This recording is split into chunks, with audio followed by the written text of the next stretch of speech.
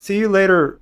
I remember when Elliott played what he was working on, I was like, that's the single. Like, that's great. Like, that's a super catchy song. That was one of my favorite songs on the record. And I remember first hearing it and thinking, oh, this song's great. You know, I think I told Elliott something like, oh, this song's going to buy you a house because it seemed like a, a hit song to me, you know, like a, a legit hit.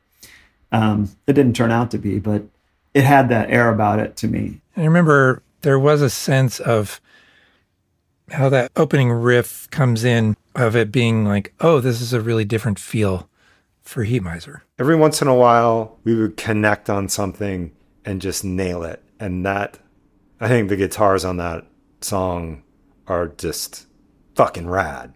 It's a great groove. I can't believe how laid back Tony is and how like we still stay together. And it just has this slow rockin' groove that's kind of the best part of what that band could do.